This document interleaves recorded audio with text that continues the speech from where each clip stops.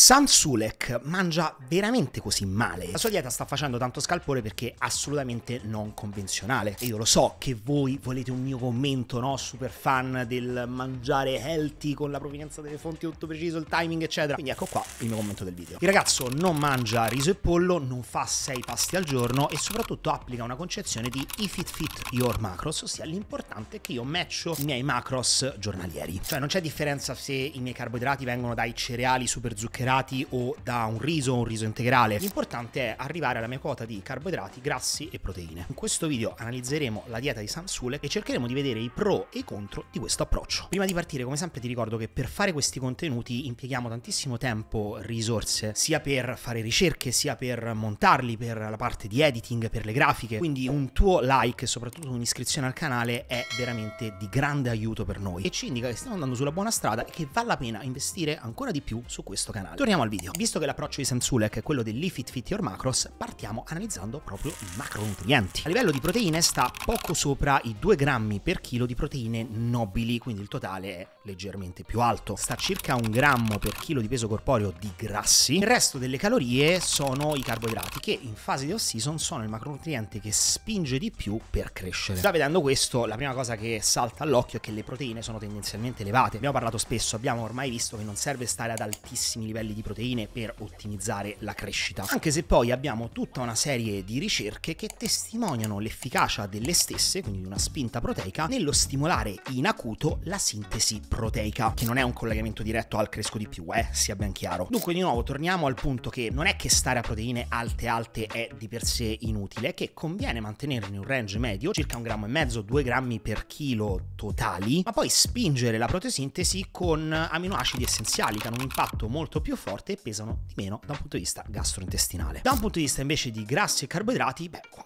è la perfezione, nel senso un grammo di grassi per chilo di peso corporeo ci sta. E per quanto riguarda i carboidrati, sono effettivamente il macronutriente che conviene di più spingere sia in fase di salita sia in fase di discesa. Un altro aspetto da analizzare per la dieta di Sam Sulek è il timing. Ora Sam fa di media tre pasti giornalieri più uno shaker nel post workout. Ecco, quello che emerge dai video dei suoi full day of eating è come lui gestisca tutto quanto per essere quanto più performante possibile nel quotidiano e in sala. Vediamo la sua routine. In primis si sveglia e fa un pasto prima del suo cardio e in questo pasto si idrata molto, quindi inizia a bere veramente tanto e integra con sali minerali, che è di fondamentale importanza, perché giustamente noi arriviamo al mattino appena svegli che abbiamo perso liquidi durante la notte, fino a anche 1-2 litri d'acqua. A questo punto, dopo questo primo pasto, si riposa un po', rilassa e poi va a fare il suo cardio, quindi arriva facendo cardio in maniera performante. Ho già detto, il cardio a digiuno di per sé non è obbligatorio per dimagrire, il momento ideale per far cardio è un momento in cui siamo performanti, che sia a digiuno, per molte persone funziona meglio, che sia dopo uno o due pasti. A questo punto, tornato dal cardio, si fa un altro pasto, che sarebbe poi il suo pre-workout, il pasto prima dell'allenamento, e da là si fa un bel riposino pomeridiano, quindi si distende, si rilassa e si fa una pennichella. Si sveglia, che praticamente è fatto sera tardi, lui sta molto shiftato sulla notte, si fa un pre-workout, insomma gli integratori proprio immediatamente per caricarsi un po' in sala, si allena, dopo l'allenamento si fa lo shaker del post-workout, denso di ciclodestrine e proteine e poi fa un altro pasto che non è tanto eccessivo, tanto elevato, che sarebbe il pasto post workout, dove a volte per fare video o in generale nel suo quotidiano ci mette un cheat meal, ma attenzione, il cheat meal lo mette alla fine, dopo essersi allenato, quindi non vuole compromettere la performance. E qua vediamo che i concetti del timing dei nutrienti, cioè concentrare il grosso di carboidrati a ridosso dell'allenamento, vengono perfettamente rispettati, perché si sveglia, fa un primo pasto, poi fa subito un'attività cardiovascolare, poi il post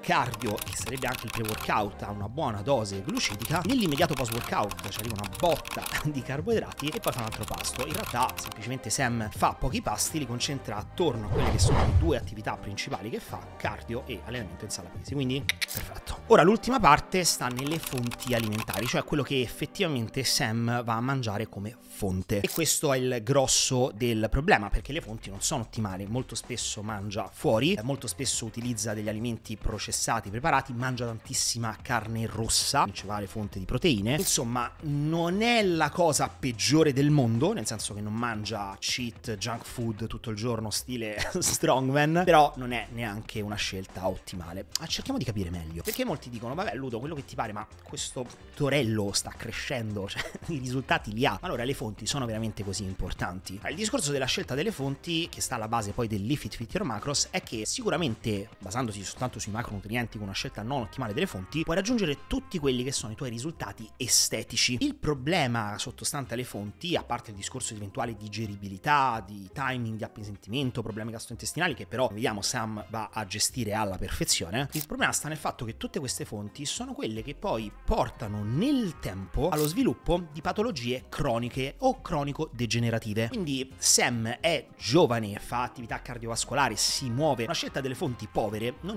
impatterà mai così tanto e lui nell'immediato non lo va a vedere. Però la scienza dell'alimentazione ci dice che questo tipo di alimentazione, questo tipo di dieta, eh, sul lungo periodo può portare all'insorgere di alcuni problemi. Quindi, nel dubbio, meglio evitare. Poi un altro discorso è che Sam non sta gareggiando in questo momento, non sta gareggiando ad altissimi livelli, livelli in cui eh, ogni dettaglio, ogni piccolo minimo dettaglio conta. Mi capiamo sempre questo discorso. Io, di per sé, quello che è il mio lavoro come preparatore pro coach di bodybuilding è quello di ottimizzare. Io devo ottimizzare, cioè non importa ottenere un risultato, io devo ottenere il miglior risultato possibile, fare in modo che il risultato sia a quel livello. Quindi che ogni cosa venga curata nel miglior modo possibile. Qua stiamo ottenendo dei risultati, non saranno ottimali, ma i risultati indubbiamente ci sono. Peraltro su questo ci sono passati tantissimi bodybuilder che sono arrivati a un certo punto della carriera in cui hanno testimoniato che all'inizio mangiavano sporco perché anche c'era poca cultura da questo punto di vista in bulk, mangiavi spingevi, tutte le calorie, l'importante è che mecciavi la quota proteica, poi a un certo punto si sono iniziati a ritrovare con problematiche gastrointestinali, vivere il bulk non nel migliore dei modi, hanno detto guarda, mi sa che devo mangiare pulito, no? Quindi la famosa distinzione tra clean food e junk food. Quindi ricapitolando abbiamo visto tre punti, la scelta dei macronutrienti che non è malvagia, certo si potrebbe stare un po' più bassi di proteine e spingere con amminoacidi essenziali, però non è troppo un problema. In secondo il timing, che in questo caso viene gestito molto molto bene da Sam, e il terzo punto la scelta delle fonti che può essere ottimizzata. Ora arriviamo alla conclusione principale, io quello che vi incentivo a fare è di non vedere tutto o bianco o nero, giusto o sbagliato, ma di cercare di prendere come spunto del positivo positivo da ciascuno, perché ognuno ha del positivo da dare, degli aspetti in cui non sono necessariamente negativi, ma possiamo non essere d'accordo. Magari per te il positivo di Sam è proprio, ah, finalmente c'è qualcuno che mangia un po' più sporco, un po' più libero, posso farlo anch'io, magari perché ho un atteggiamento troppo strict sull'alimentazione, che se un alimento è minimamente processato già non lo vado a mangiare, che mangio soltanto le cose bollite, verdure, eccetera. Insomma, ognuno il suo. Però Sam ci sta dando un messaggio in realtà molto importante, che è quello che, meno male, il grosso lo possiamo fare ascoltando il nostro corpo, che dovremmo inserire dell'attività cardiovascolare fare ogni giorno anche in fase di bulk che non serve mangiare mille mila calorie che l'aumento deve essere graduale perché Sam sale e scende sempre in maniera graduale ascolta la sua capacità digestiva insomma sono tutti piccoli messaggi super positivi per quella che è la community del bodybuilding quindi concentriamoci su quello. Poi le cose in cui siamo meno d'accordo sì possono essere ottimizzati ma basta esserne consapevoli. Con questo è tutto ragazzi. Qualsiasi domanda sarò ben lieto di rispondere. Scrivetela qua sotto nei commenti e noi ci vediamo al prossimo video